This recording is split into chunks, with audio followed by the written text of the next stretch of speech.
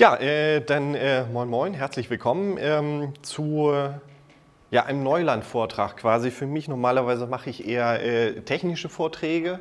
Äh, mit diesem Vortrag begebe ich mich so ein bisschen auf äh, das Gebiet von äh, Pädagogik, Didaktik, wie man sowas halt, ähm, also wie, wie man mit Problemsituationen umgehen kann, ohne dass man sich hundertprozentig dort auskennt.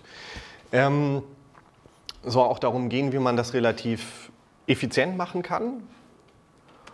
Und äh, letztendlich basiert das Ganze auf äh, Erfahrungen, die ich jetzt, ähm, ja, über zehn Jahre mache ich M23, Softwareverteilungssystem, äh, habe auch einige Kunden, die es einsetzen. Also von daher auf verschiedenen Leveln operiere ich da, äh, sowohl auf äh, der technischen Ebene quasi, aber eben auch äh, mit Menschen. Und ähm, ja, diese Erfahrung habe ich da versucht, so ein bisschen zu, äh, zu sortieren und einen Vortrag draus zu machen, um ähm, äh, auch so ein bisschen die Zauberei aus dem, was ich teilweise denn äh, mache, herauszunehmen. Ähm, grundlegend ähm, gibt es äh, meistens eine Ausgangslage, wo mir äh, ein Kunde, ein M23-Benutzer, ein äh, etwas schildert, was nun nicht so läuft, wie es eigentlich so, sein sollte. Und der, derjenige benutzt nicht unbedingt Fachsprache oder das, was er sagt, kann auch sehr kurz sein, so, so nach dem Motto, da, da geht was nicht. Äh, meine nächste Aufgabe ist denn, das eigentliche Problem zu finden und dann äh, für den Kunden, für den Benutzer äh, ein, ein, ein, Ziel, was er mir eventuell vorgibt, äh, das umzuwandeln in einen Lösungsweg. Und das ist das, was ich ein bisschen zeigen werde, wie man eben ähm, das Ganze analysiert, sowohl eben die Problemebene als auch die Lösungsebene, wie man Informationen sammelt und letztendlich Lösungen daraus entwickelt. Damit das Ganze nicht ganz so trocken wird, habe ich da zwei so ein bisschen fiktive Fälle mal gemacht. Da habe ich mich selbst dabei beobachtet und Screenshots gemacht, wie ich denn dabei vorgehe, ohne mich nun direkt damit auszukennen, aber wie ich mich einfach zu einer Lösung ähm, dahin taste. Ja, so, äh, so, so ein Vortrag kommt natürlich nicht ohne Grafiken aus. Also der Anfang ist eben diese etwas unscharfe, diffuse Ausgangslage, wo, wo, eigentlich keiner so wirklich weiß, worum es da eigentlich geht. Meine nächste Aufgabe ist dann, dieses Problem zu finden, dann mögliche Lösungen äh, abzuklappern, bis ich eine Lösung gefunden habe es mag natürlich mehrere Möglichkeiten geben, eine Lösung zu finden, um, um zu diesem Ziel zu kommen. Aber meistens äh, bin ich dann auch mit einer zufrieden, beziehungsweise der Kunde. Ähm, als ich das Ganze denn immer und immer mal wieder ein bisschen angepasst habe, diesen Vortrag ist mir eigentlich aufgefallen, das, was ich mache, äh, ist äh, so ein bisschen wie Detektivarbeit.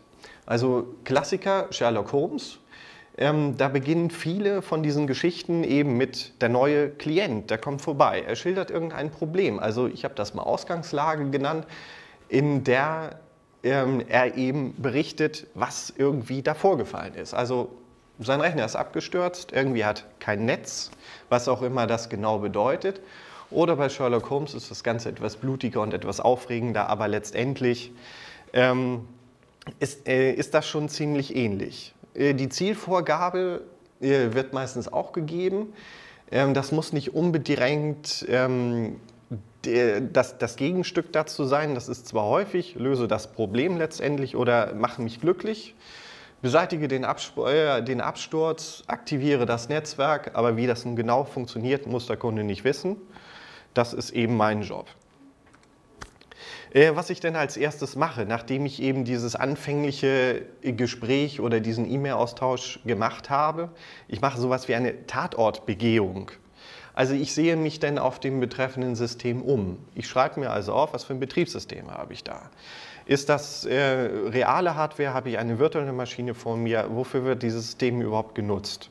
Also das sind jetzt beispielsweise drei äh, Sachen, die ich mir dann einfach erstmal angucke, damit ich erstmal so grob einschätzen kann, wo, wo befinde ich mich da. Ähm, gibt es irgendwelche Auffälligkeiten? Äh, zum Beispiel offensichtliche Fehlermeldungen. Viele Nutzer neigen eher dazu, Fehlermeldungen einfach wegzuklicken, zu ignorieren oder sonst was. Und das auch gar nicht wirklich wahrzunehmen, dass dort irgendwas nicht richtig funktioniert hat. Äh, was für mich offensichtlich ist, muss für den Nutzer nicht offensichtlich sein. Oder so etwas wie Bildstörungen.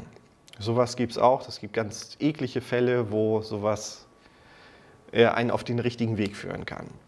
Dann äh, aus diesen Informationen, die ich gesammelt habe, habe ich vielleicht äh, schon eine, eine Idee, einen Verdacht, äh, wer jetzt an diesem Problem schuld sein könnte. Gibt es eventuell Programme, die da äh, irgendwas machen könnten? Das ist ein bisschen Erfahrungssache. Oder eben auch, ich habe mir die Fehlermeldung genau durchgelesen oder haben wir Fehler, äh, Fehlkonfigurationen. Also das ist, äh, ist ein weites Feld insofern. Aber genau lesen. Ja, eine weitere Grafik, die ich dazu gemacht habe, um so, so ein bisschen so ein, äh, das zu illustrieren, was ich eigentlich mache. Ich sammle Informationen. Also gucken, was mache ich da, äh, was sehe ich. Äh, dann versuche ich aus diesen Informationen, die ich gesammelt habe, so, sowas wie eine Theorie zu bauen. Ähm, womit ich dann äh, versuche herauszukriegen, äh, was da falsch gelaufen sein könnte, also eben diesen Problemfall, wo ist das Problem herauszukriegen. Und dann muss ich das Ganze natürlich irgendwie überprüfen, denn Theorie hilft mir meistens nicht weiter. Also ich muss das äh, irgendwie dann überprüfen, ob das nun wirklich stimmt. Genauso wie ist es auch mit den Lösungen. Ich sammle Informationen, versuche eine Lösungstheorie aufzustellen und überprüfe diese. Denn es soll letztendlich funktionieren. Ich werde nicht dafür bezahlt, dass ich einfach bloß theoretisiere und äh, ähm, ja, heiße Luft verbreite. Ähm, diese Informationsquellen, die ich habe, sind einmal Dinge, die ich sehe. Also eben Fehlermeldungen, ich kann äh, Suchprogramme verwenden, mit, mit grep irgendwelche Logdateien durchwühlen und sonst was tun.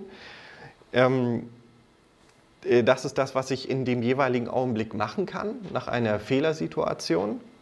Dann sind es Dinge, die ich weiß, beziehungsweise von denen ich glaube, dass ich sie weiß. Bei allem äh, ist immer eine Fehlerkomponente dabei. Ähm, und von daher sollte ich äh, immer so ein bisschen flexibel sein. Also es muss nicht alles äh, so sein, wie es auf den Anfang erstmal ähm, äh, zu, äh, sein könnte. Und das eben bei den Dingen, die ich sehe und eben auch bei dem, was ich meine zu wissen. Also die Dinge, die ich weiß, sind Grundlagen, die ich äh, habe, Erfahrungen aus x Jahren, Fachbegriffe, die helfen nachher bei, ähm, bei der, der, nächsten Kategorie, beim Nachschlagen. Das ist äh, sehr wichtig, dass ich dann besonders, also das ist wieder die Kategorie effizient, dass ich relativ effizient denn zu relativ guten Suchergebnissen komme. Und bei den Dingen, die ich nachschlage, muss ich diese natürlich auch überprüfen. Denn Informationen, die ich so gewinne, die können entweder veraltet sein, sie können grundlegend falsch sein, sie können sich auf andere Produkte beziehen, auch wenn es ähnlich ist.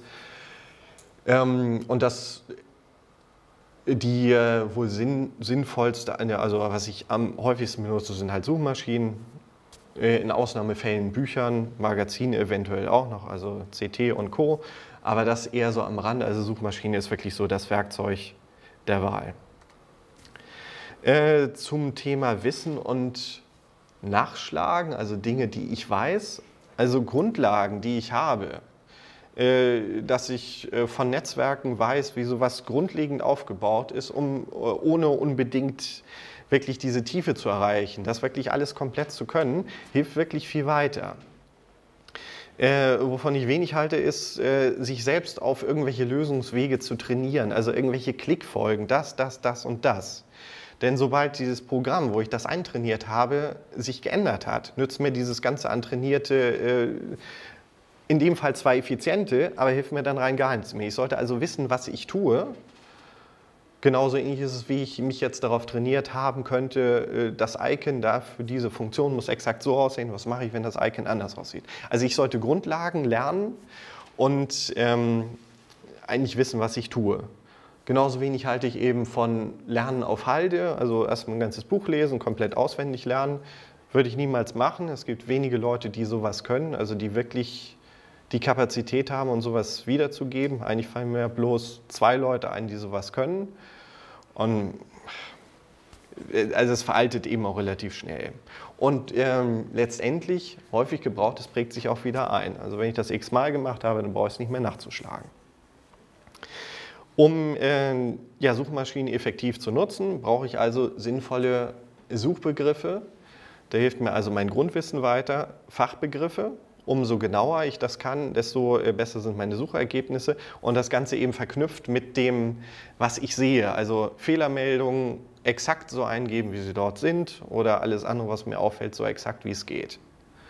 Was ich nicht machen sollte, ist diesen Ergebnissen äh, hundertprozentig zu vertrauen. Also es sind immer bloß Informationsbröckchen, die mir zu diesem Ziel, was ich erreichen will, zu dieser Lösung helfen können. Aber es ist immer kein hundertprozentiges äh, Wissen.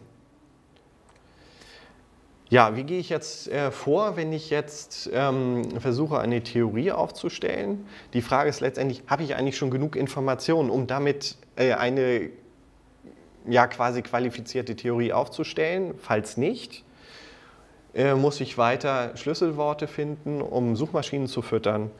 Oder ich, äh, ich nenne das einfach Sichtbarkeit erhöhen. Bei vielen Programmen kann ich äh, die Bug-Level hochsetzen, dass ich mehr Informationen kriege, ähm, was da eventuell schiefgelaufen ist. Ich kann Logdateien äh, durchsuchen und ein wichtiger Punkt ist, nochmals genau lesen. Denn äh, vieles, was, was man vielleicht am Anfang übersieht, beim zweiten Mal lesen findet man es vielleicht doch und das ist dann, aha, oh, äh, so komme ich dann doch weiter. Ähm, das Ganze aufschreiben, das kann man auf einem Zettel Papier machen.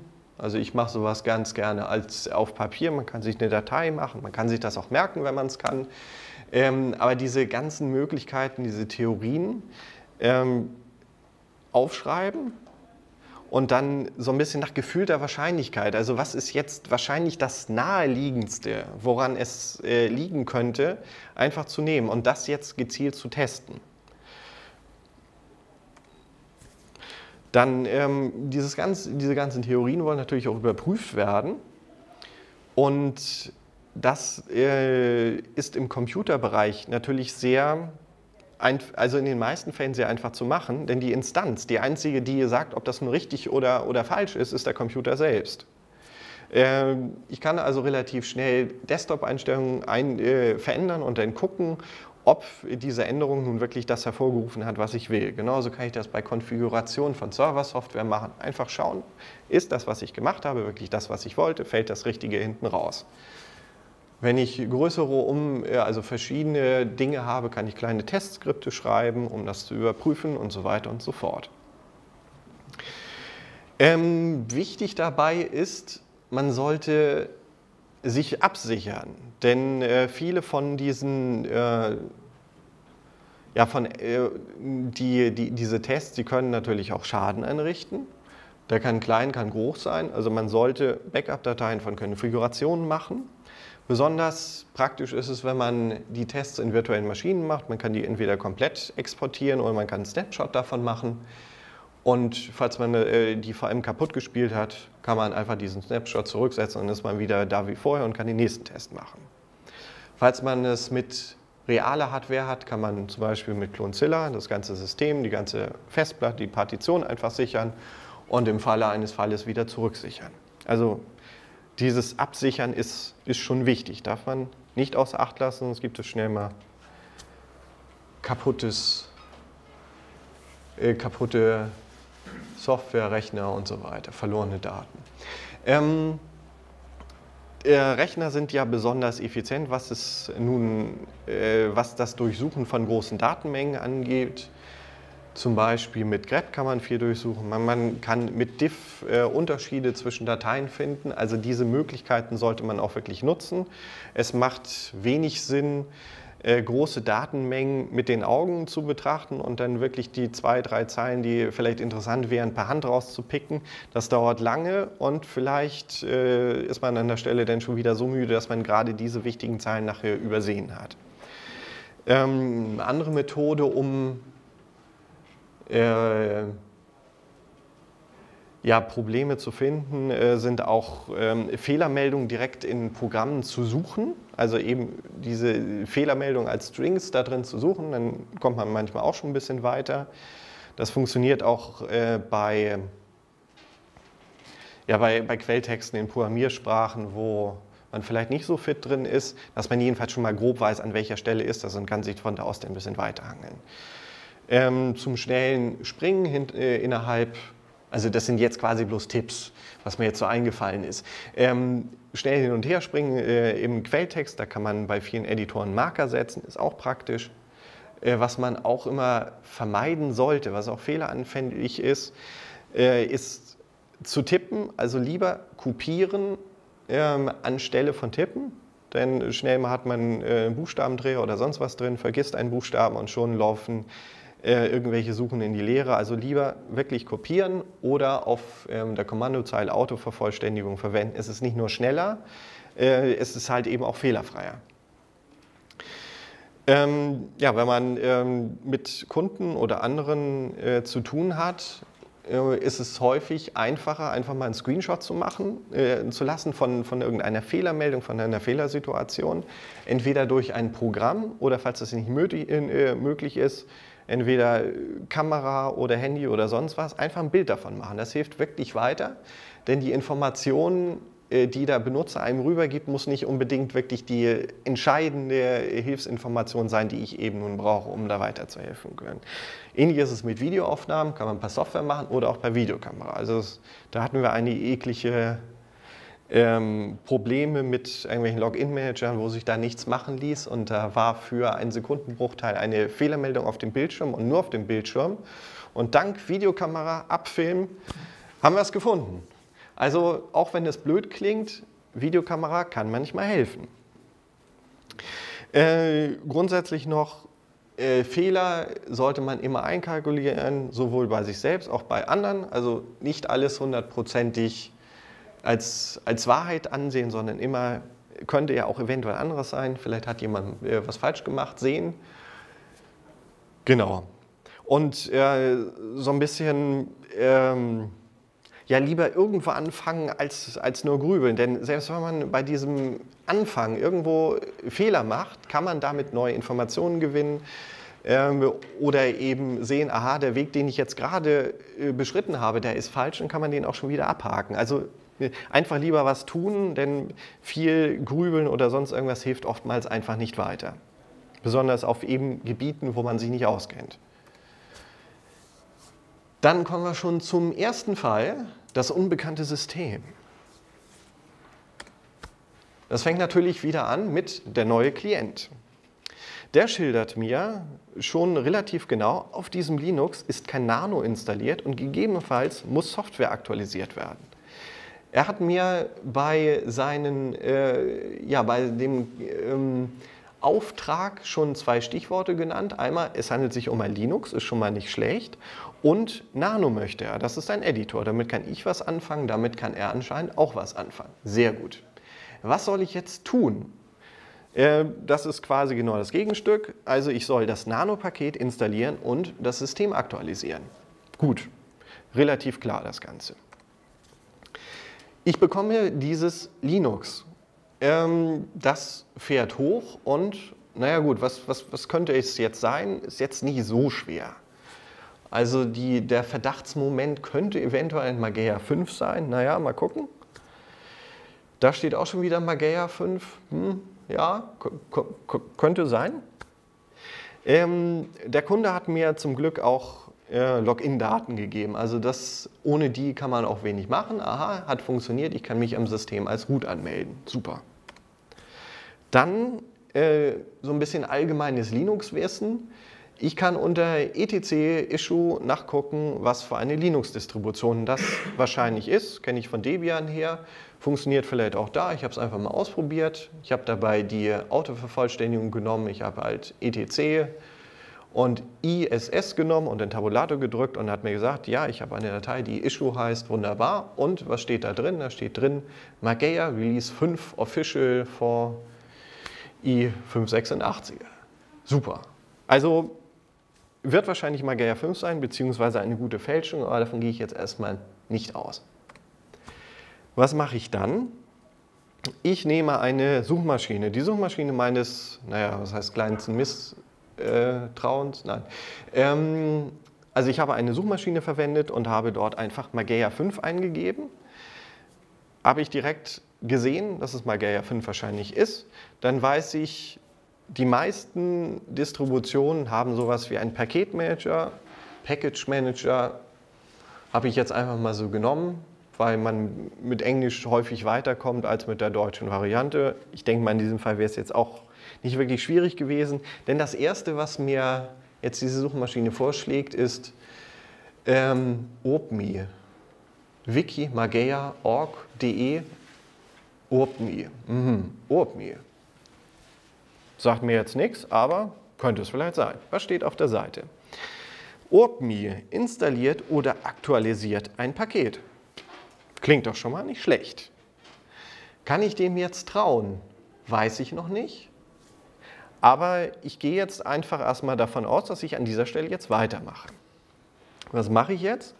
Ich verwende wiederum die äh, Autovervollständigung und äh, die sagt mir, aha, es gibt einen Befehl urbmi. Super.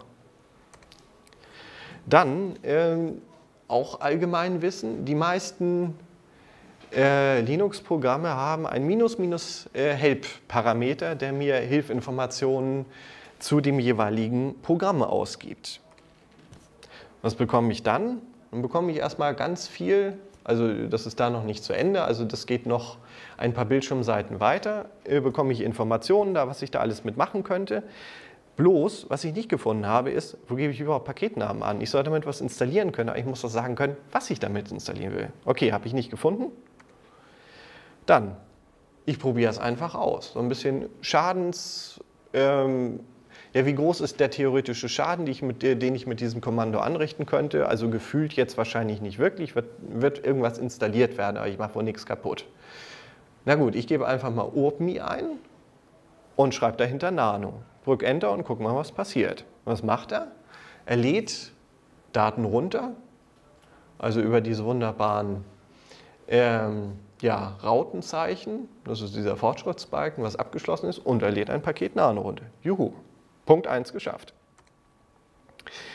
Mein äh, nächster Auftrag ist, ich soll dieses System aktualisieren. Da hilft mir jetzt die Doku auf der Seite auch wieder weiter. Äh, dort gibt es sowas wie urbmi minus minus update minus minus autoselect. Hm. Kann man ja einfach mal ausprobieren. Mal gucken, was passiert. Ja, sagt mir jetzt, die Pakete sind auf dem aktuellen Stand hm, ist vielleicht nicht unbedingt das, was ich jetzt erwartet hätte, was ich wollte, aber meine weitere Theorie aus der Benutzung von Debian und von anderen Distributionen ist, muss ich eventuell sowas wie einen Paketindex vorher aktualisieren, sodass er sich äh, eine Liste runterzieht, wo drin steht, aha, es gibt das Paket jetzt in der und der Version und erst dann weiß das lokale System, aha, es gibt auch eine neuere Version. Gucke ich wieder, äh, in der Doku und habe da gesehen, aha, es gibt da, es gibt da so ein Update-Dings da, opmi.update-a. Aha, da macht er irgendwas, lädt da wieder was runter und HD-List CZ und Blaphase. Macht und tut. Und dann probiere ich das einfach mal aus und nehme dieses Update da weg bei diesem Kommando, was ich hatte. Also ich, ich probiere es wirklich bloß aus. Was macht er dann? Dann sagt er hier, äh, es müssen zusätzliche, also wird irgendwie zusätzlicher Speicher verbraucht, wenn ich das jetzt mache und äh, ob ich jetzt hier die äh, 23 Pakete installieren möchte. Ja, das sieht doch gar nicht schlecht aus. Sage ich mal einfach J und drücke Enter. Dann lädt das wiederum runter, macht und tut. Und damit ist das Ganze denn auch fertig. Und da sagt es mir ja noch, soll das System äh, oder äh, Genau, es wurde auch ein Kernel geupdatet. Ich sollte das jetzt wohl mal neu starten. Aber neu starten brauche ich jetzt eigentlich nicht wirklich. Äh, war jetzt nicht mein Auftrag. Ich mache das System hinterher aus. Dann ist es in einem sauberen Zustand und damit ist das für mich durch. Ich äh, finde nicht, dass du Also ich würde okay. gucken, ob das System noch so funktioniert, wie ich das will nach dem Update. Gut, hätte ich natürlich noch machen können. Aber ich habe schon 60 Folien oder so. Ja gut. Ja gut, hätte ich, hätte ich natürlich noch gucken müssen, ob das andere wieder, ähm, äh, ob mir das jetzt wieder sagt, ist auf dem aktuellen Stand. Genau. Also ich hätte jetzt gesagt, wenn das ein Webserver ist, muss ich gucken, dass der Webserver hinterher noch läuft, wenn er den aktualisiert hat. Oder wenn da ja. andere Software ist, muss ich auch gucken, dass das alles noch läuft. Das war ein bisschen gemogelt, das Ding war fast leer. Stimmt, aber natürlich, ne, wäre natürlich, äh, ja. ja, wenn was Wichtiges drauf gewesen wäre, richtig. Ja. Ähm, ja, was habe ich letztendlich dabei gemacht? Die Grundlagen, die ich verwendet habe, sind, sind Bash-Kenntnisse, ein bisschen Linux-Kenntnisse. Also ich wusste, wie die Autovervollständigung geht und wo ich diese eine Datei höchstwahrscheinlich zu suchen habe und dass es eben diesen Hell-Parameter gibt. Das andere war letztendlich nachschlagen, ausprobieren.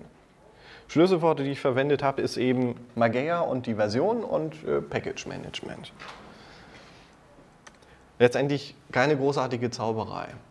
Das nächste ist schon so ein bisschen, sagen wir mal, haariger. Ne? Einige Leute kennen sich mit PHP gut aus.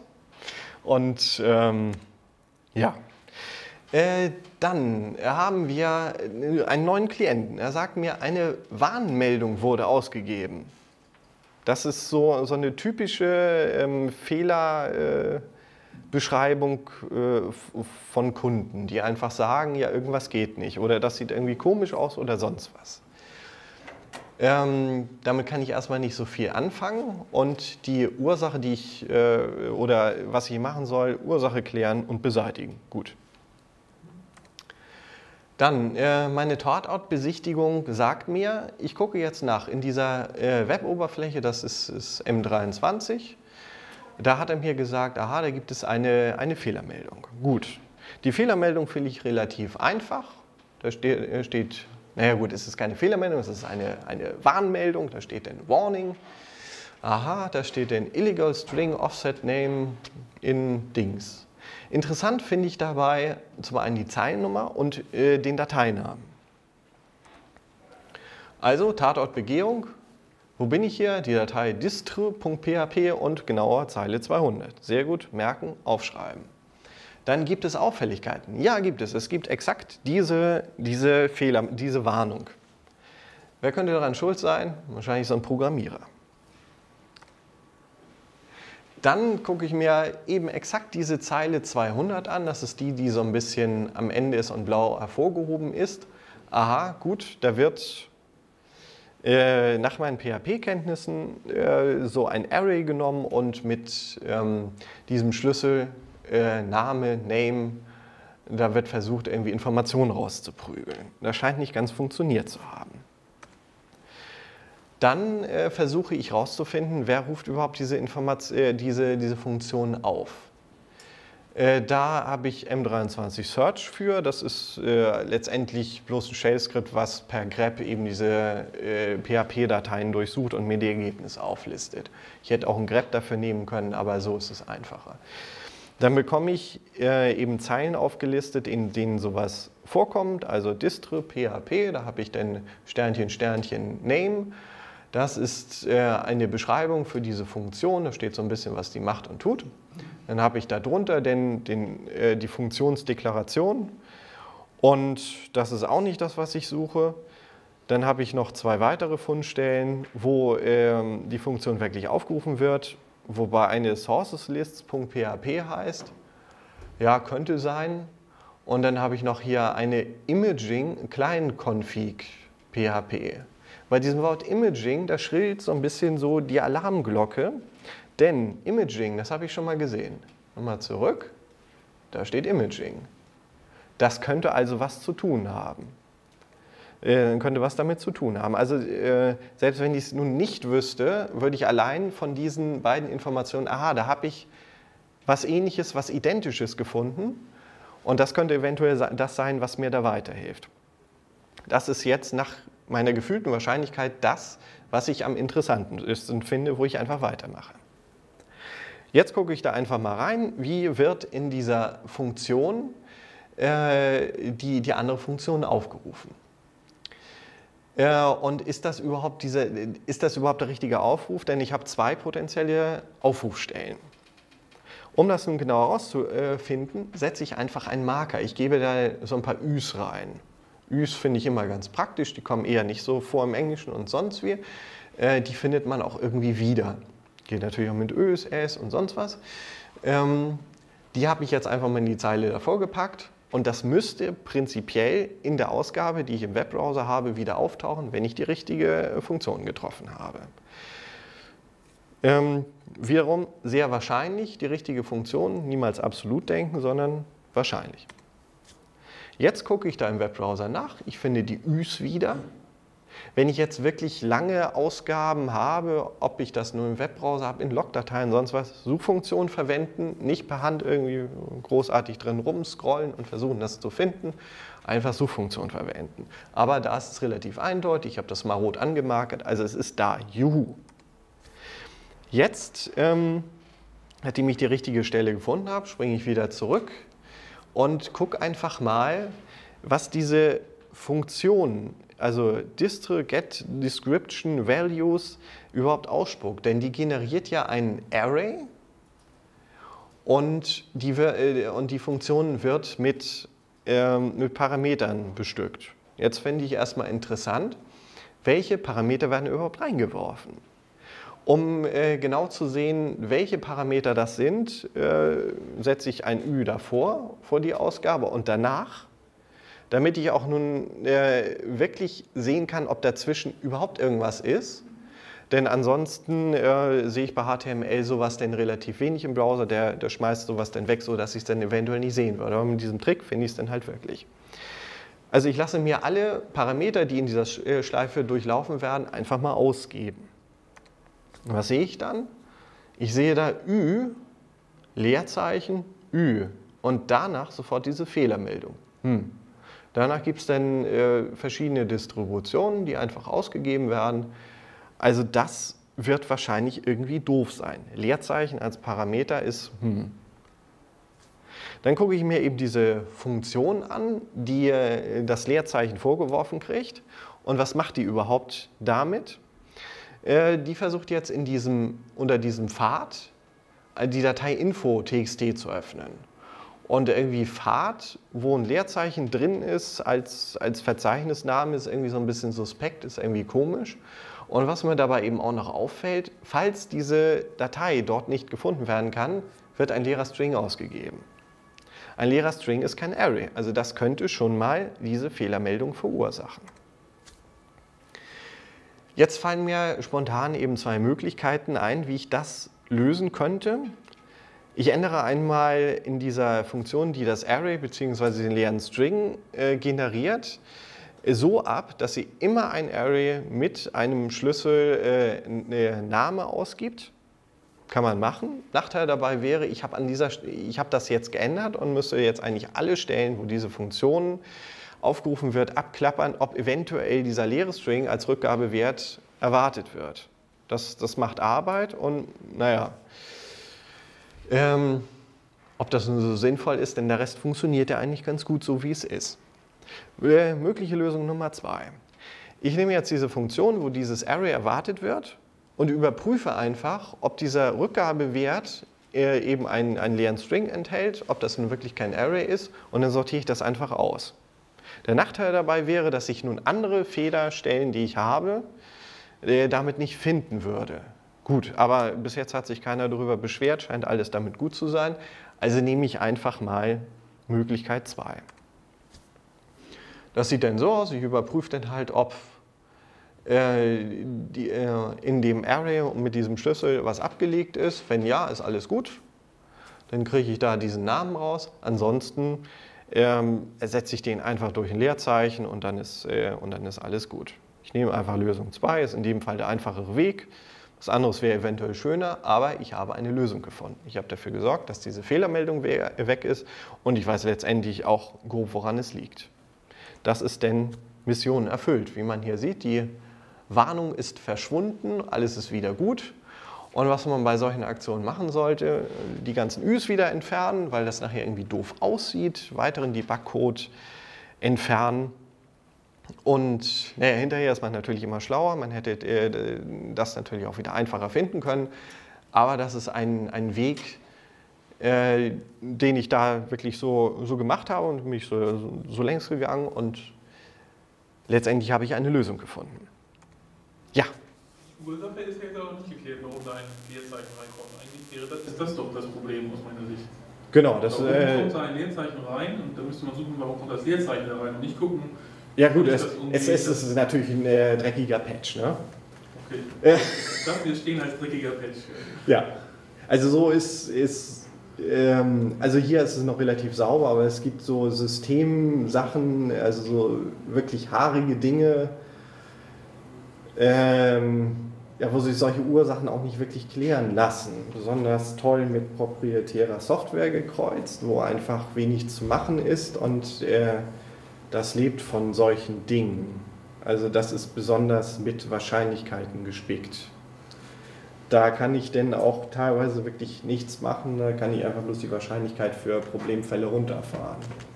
Aber in PHP, in dem Beispiel. Da hätte man es natürlich sauber machen können, aber äh, das wäre dann noch ein bisschen mehr gewesen. Ich dachte, ich komme sowieso nicht mit der Zeit hin. So, dann nochmal äh, kurz dazu. Was, was habe ich da äh, an Wissen verwendet? PHP-Kenntnisse. Also die Warnung habe ich auch irgendwie grob verstanden, dass da irgendwie was nicht so richtig ist mit so einem Array. Äh, Ich kenne die Struktur des M23-Verzeichnisbaumes und weiß, wie dieses Suchwerkzeug funktioniert und wie ich ähm, ja, Funktionen finde, wie ich, wie ich Zeilennummern im Editor öffnen kann. Das ist letztendlich das, was ich da jetzt so verwendet habe. Gut. Das wäre es erstmal soweit. Ich weiß gar nicht, ob wir jetzt noch. Oh, wir haben noch ein bisschen Zeit. Sind noch irgendwelche Fragen dazu? Für didaktisches Neuland? Ja. Äh, Ja, dieser Fall, der erste Fall, ist das irgendwie halbwegs der Realität- entnommen? Also ich würde denken, dass jemand, der Nano haben will, es auch selber installiert kriegt. Richtig. Nee, das war einfach bloß, äh, äh, also mein, mein Gedanke dabei war irgendwas, was ich relativ schnell zeigen kann, was, wo ich mich nicht direkt auskenne. Also habe ich Mageia genommen, ich aus, äh, also ich benutze Debian und Ubuntu Linux Mint, also das ist meine Schiene. Von daher war es was anderes, so dass ich äh, jedenfalls so ein bisschen Realitätsnähe da reinkriege. Normalerweise mache ich einfach kein Mageia, aber damit es eben was anderes ist. Ich hätte auch Fedora nehmen können, Arch oder sonst irgendwas. Und ähm, damit ich das auch relativ zügig durchkriege. Denn das sind wirklich relativ viele Einzelfolien und ähm, ja, nein, es ist nicht aus der Realität, es war gefaked. Das zweite ist schon echter, also das zweite ist quasi echt, also die- diesen Patch gibt es da jetzt drin, auch wenn er ein bisschen hier ein bisschen dreckig ist, aber das ist da drin, es, es erfüllt seinen Zweck, man kann es schöner machen. Genau. Jupp. Das nächste Mal würde ich vielleicht den Apache oder so installieren, also dass der Kunde gerne einen Webserver haben möchte, dann kommt dieser Fall gar nicht, dass der vielleicht ein Profi ist. Ähm, ja, sowas. Also ich mache auch äh, heute noch einen Workshop eben auch dazu. Da kommt sowas auch vor.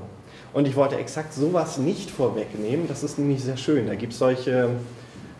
Das darf ich ja eigentlich gar nicht sagen, damit nehme ich die Lösung vorweg. Aber es kommt eine Apache vor und da gibt es auch so eine eklige Situation und ähm, die dürfen die Teilnehmer selbst lösen.